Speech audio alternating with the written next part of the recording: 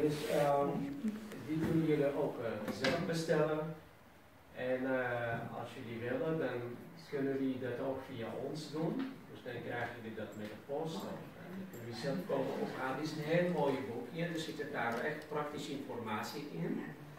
Uh, hoe je een gesprek kunt zeg maar voorbereiden met een arts of een